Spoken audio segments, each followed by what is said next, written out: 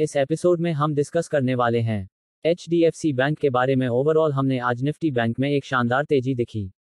हालाँकि वो सस्ते नहीं रहा। अगेन जो है, जहाँ Nifty Bank Nifty more than एक दशमलव दो शून्य प्रतिशत के ऊपर ट्रेड हो रहा था, वही देखेंगे।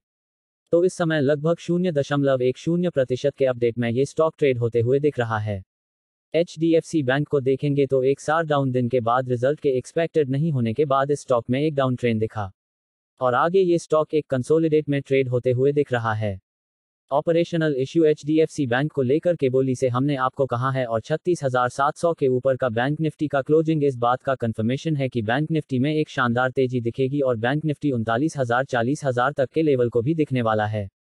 ओवरऑल एचडीएफसी बैंक के साथ ही हमने आपको रिकमेंड किया था कि इस समय बैंकिंग सेक्टर के दो स्ट्रॉन्ग शेयर एक इंडसेंट बैंक और दूसरा बंधन बैंक तो क्या आपने दोनों बैंक में कुछ भी ट्रेड लिया? ऑप्शन या कैश में तो कमेंट बॉक्स में ज़रूर बताएँ।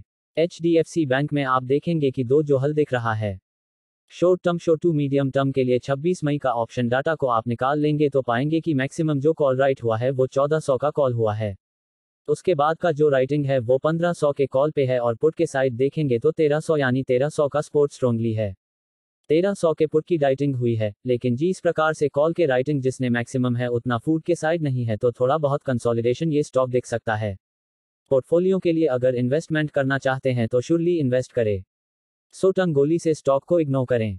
1400 के ऊपर का क्लोजिंग मिले तो एक मोमेंटम ट्रेनिंग स्टॉक के अंदर मिल सकता है, और मोमेंटम ट्रेनिंग के लिए आप बंधन बैंक और इंडसेंट बैंक थ्योरी देख सके।